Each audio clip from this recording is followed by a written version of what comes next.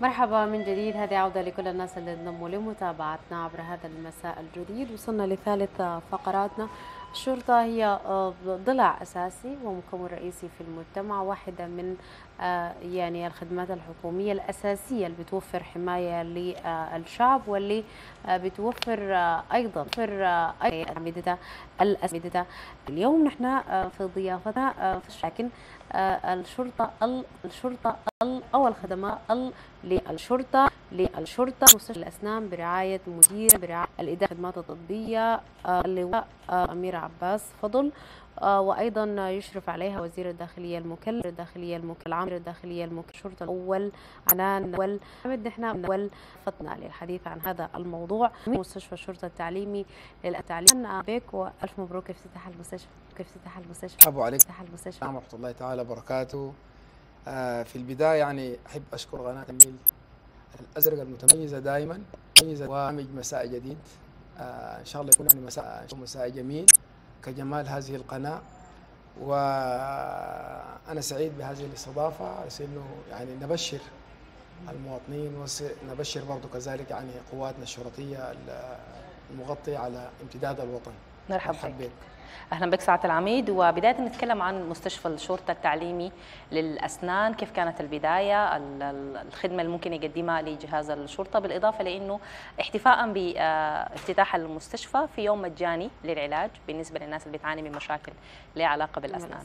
فتفضل نتكلم نعم. عن الجزئية دي. نعم شكرا جزيلا على هذا السؤال الطيب آه في في الحقيقة يعني آه المستشفى دي لما بدأت بدات هي عبارة عن مركز صحي.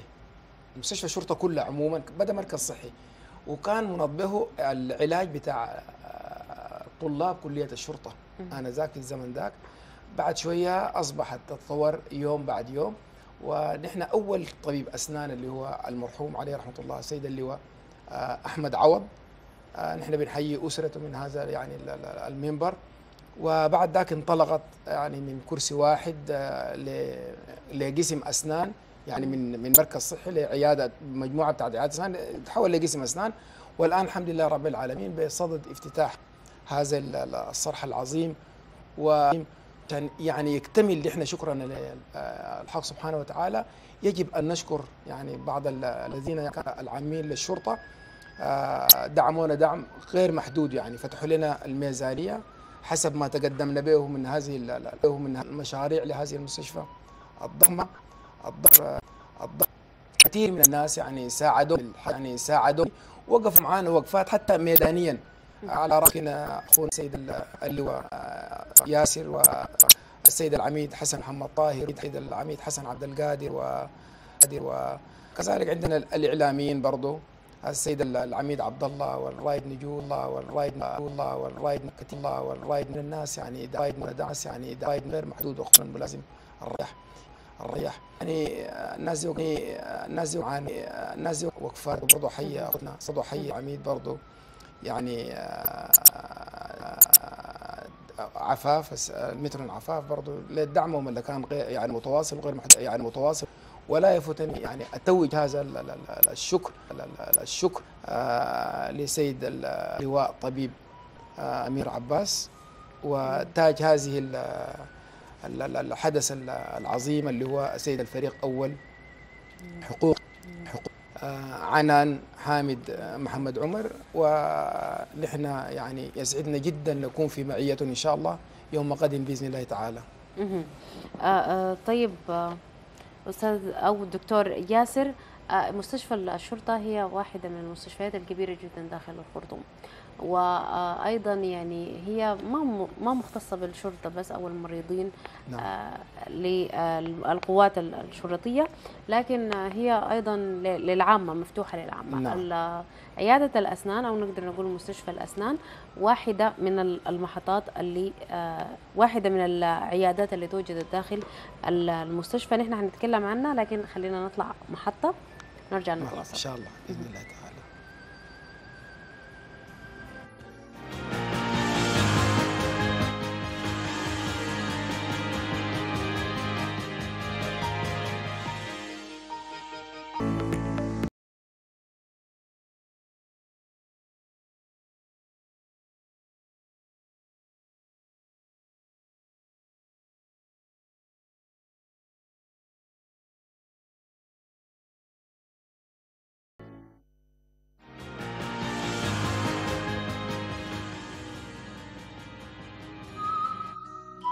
آه. دكتور آه، ياسر إحنا آه اتكلمنا قبل المحطة سألتك عن إنه قلنا مستشفى الشرطة هي واحدة من المستشفيات الكبيرة الموجودة داخل آه الخرطوم. والآن آه تمت إضافة مستشفى الأسنان داخل مستشفى الشرطة. طيب خلينا نتكلم عن التخصصات الطبية الموجودة داخل مستشفى الأسنان. وهل هي عيادة عادية مثلا ولا هي بتشمل الكيسات الكبيرة أو ال- المرضى اللي عندهم مشاكل كبيرة في الأسنان. نعم. آه حقيقة يعني مستشفى الأسنان آه نحن الرؤية بتاعتنا وما الشيء الهدف التارجت بتاعنا نحن كان إنه يكون يعني ويكون مستشفى إقليمي حقيقة يخدم كل ال- الدول بتاعت الجوار. والحمد لله يعني آه، نجحنا بفضل الله تعالى على العمل على هذا حتى تحقق هذا الحلم يعني ال- ال- ال- السعة بتاعت المستشفى سعة كبيرة جدا. التخصصات الموجودة يمكن آه، كل التخصصات بتاعت طب الأسنان. وده خلى إنه يكون عندنا توطين لعلاج الأسنان بنسبة 100% داخل. فهذا المستشفى. هو مستشفى اقليمي بلا شك. ال- الأقسام يمكن ال- اللي بيضمها تابع معنا سعادتك في في المونيتور. تمام. في تجوال لأقسام المستشفى وبالتالي نوعية الأجهزة. إذا كانت متطورة يعني أنتم بتدعموا فكرة نعم. توطين العلاج بالداخل. ده ده ده إنعاش بتاع ال- الأطفال مم. اللي هم وخاصة بتاع ذوي الحاجات الخاصة. مم. آه يمكن ما ما في مستشفيات متخصصة في المجال ده لكن الحمد لله اسمه. نعم. آه، قسم متميز آه، ما موجود يمكن آه، في في السودان أو في أفريقيا. يعني آه، هذه ال- ال- العيادات ال- ال- ال- تم تخصيصها للأطفال. يعني الأطفال يعني بيخافوا مننا الناس خافوا مننا خافوا مننا. خلي الأطفال الصغار. أيوة. فلما يكون يعني آه، الأطفال عندهم أريحية في ال- الألعاب والشكل دي تكون على على شكل بتاعت ألعاب الحاجة دي مريحة جدا بالنسبة لنفسيات الطفل في العلاج بتاعه. وهذا يمكن من الأقسام المتقدمة جدا. في في في السودان ويعني يقوم على ال- ال- ال- ال- الإعداد بتاعه والنظر بتاعه اللي هو أخونا العقيد طبيب معتز حسن عطية الله نعم. والمشرف على هذا القسم وهو استشاري في طب الأطفال في السودان هنا. نعم. ذكرت سعادتك إنه في قسم خاص بذوي الاحتياجات الخاصة. نعم. آه، كيفية ال- التعامل معهم وكيفيه حتى يعني تواصلكم معهم لأنه هم شريحة أو فئة نعم. بيحتاجوا لتعامل خاص.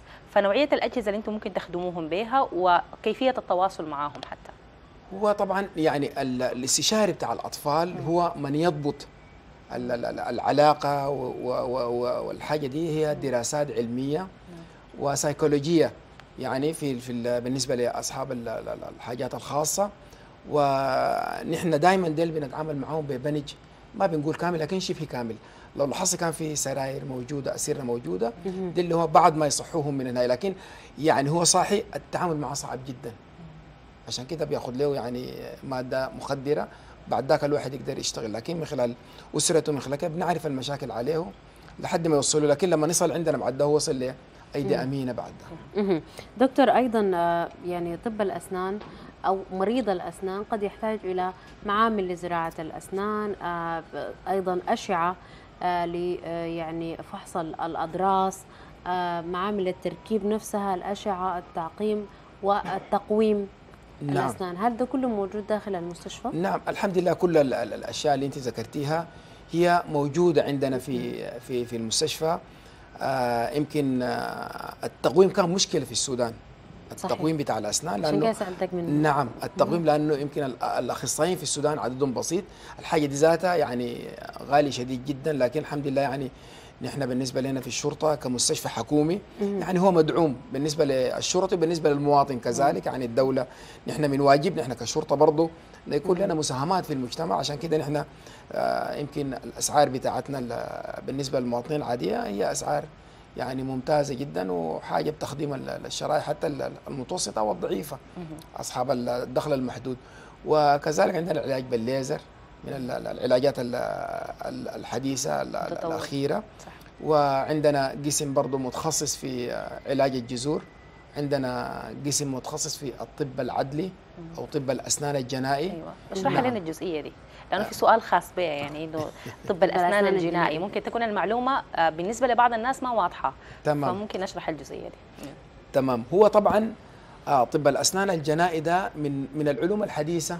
في على الأقل خلينا نقول في السودان أيوه لكن هو من الع- من العلوم القديمة خارج السودان لكن التطور بتاعه كان ماشي بطيء لكن الحمد لله رب العالمين إحنا الآن يعني عندنا قسم خاص. ويمكن أكثر شغله مع حماية الأسرة والطفل يتم تحديد ال- الأعمار بتاعتهم بشهادة خبير يعني خلينا نقول شهادة خبير اللي هو بتحدد فيها ال- الأعمار. بعد ذاك بعض الآثار بتلقى آثار بتاعت عضة الشفة برضو عندها بصمة خاصة بها فبرضه في التصوير الطبي ال- ال- الخاص بالجنائي مسرح الجريمة دي كلها أشياء اللي هو يعني تسخير العلم بتاع الأسنان وتقديمه للمحكمة في صورة بسيطة لكن بصورة علمية بحتة. فده من من العلوم يعني المتطورة. الحمد لله يعني عندنا أخواننا برضه رصفانا في وزارة الصحة وكانوا في ال ال ال الأحداث الأخيرة دي برضه كان لهم دور يعني بارز ودور جميل يعني وبصمة واضحة جميلة في في في التعرف على الجسامين.